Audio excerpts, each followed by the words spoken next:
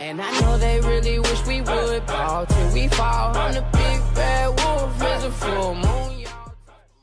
Yo, what's going on everybody? Welcome back to my channel. Today's video is going to be an armor showcase of the Titan armor called the Retrograde and honestly this is probably the worst armor set in the game. Besides, you know, the uh, Vanguard armor for the Titans, I don't like that either.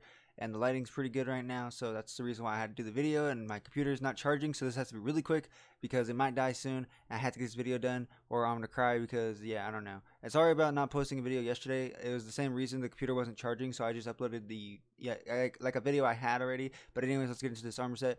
So this is the Titan Retrograde armor, and you come over here. Oh, Retrograde TG2, I guess. It includes uh, recovery, which is pretty good actually, but you don't really need it with the Titan. For the Titan, you just need more resilience because you can tank everything. And um, the helmet's pretty weird, honestly. It reminds me of uh, Halo Reach, one of the helmets in it. I think it's called like the Gungar helmet. I don't remember if anyone ever played that game or like if anyone remembers that helmet at all. Which is kind of cool though. You can take off the um, you know, the mobility for it, so that's really good. So you can have more tankiness. You know, you can tank everything, and um, yeah, I mean, so more recovery. Here are the arms. I don't like any of the Titan arms in this game. From what I've seen, personally, I just hate how they're so bulky. That's my like my biggest problem with them. And you guys can see it just has like some mesh underneath, and that's like pretty much it. And uh, it's the Hawk. If you guys want to know what the actual camo is, it's the Hawk camouflage one, I believe. I'll show you guys it in a second. So um, changing this to recovery as well, just so we, we can see how much you know recovery we can get. And um, so the chest piece is pretty much super basic, just like simple plating. And I'm sorry this is, I'm going through this so fast, but I really don't want my computer to die on me because I had to put it into Windows Movie Maker and then export it from that. And uh, yeah, I'll just let you guys take a look at this. Here's the backside. It kind of looks like a jetpack thrusters right here. Um, that's probably what it is, honestly. I don't know though. Maybe it's just like some latches to hold on to it.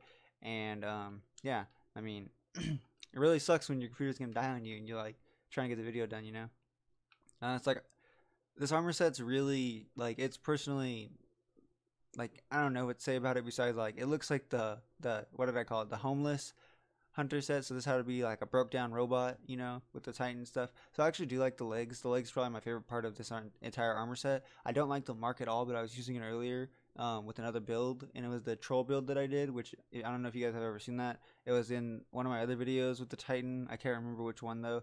And uh, yeah, I mean, I like the the pants. That's about it, dude. Um, the the mark honestly i don't really like any of the marks in this game either i feel like they just don't like they don't look that good in my opinion versus like some of them where like they like um are really different. Most of them are just pretty much this thing where it just kind of hangs down from the side and that's about it. And it just seems like there's no point in them at all but i don't know. I mean the hunter cloak makes kind of more sense and then the warlock band doesn't really make so much sense because it's so small. But i mean what else could you put on them i guess? I don't know. And um yeah, now we're just to do uh, spin around about twice, you know, so you guys can see it. You guys slow it down with the YouTube playback if you want. And uh, yeah, I mean we're at three minutes right now, and I'm trying to get this done. So now we're gonna look at uh, you know some shaders. We're gonna look at the Iron Battalion just because I actually like this shader sometimes, and I have not seen this armor set with any shaders. Actually, that's not bad at all. Wow, that actually looks really really good.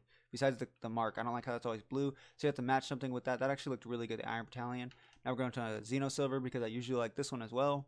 This is probably like one of my favorite shaders in the game now, just because like I don't know. And this one kind of matches the blue of this. And if you didn't know, you guys could see that MIDA Multi-Tool now has Xeno Silver on it, and you can do that with all exotics. I don't understand why you can see them, but you can't you know equip it. You can only equip accessories and stuff like that.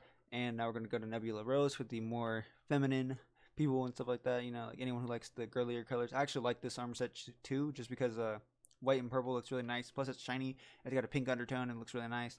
And uh, yeah, I mean, this is probably one. Of, what is this my fastest um, armor showcase or no? I can't tell.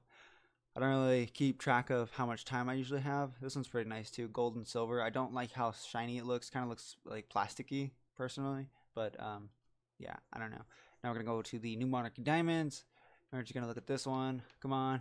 Actually, this one's really nice too. Okay, so with shaders, this thing doesn't look that bad to be honest. Like it actually makes it look way better. So a default shader kind of looks like the broke down robot. If you want to look super, you know, cool and stuff like that, you gotta throw on a shader, any shader pretty much. From what I've seen so far, any shiny shader. So this is pretty much like the super HD version of him versus like uh, when he's all broke down, you know, looking. Oh, this is the shader that's actually the one that's default on him. If you wanted to make him look not so old but keep the same thing, see, so it just makes it so the um, thing doesn't look all scratched up and beaten and worn, stuff like that. So, I mean, if you want to make them look kind of better, then there you go. That's how you do it.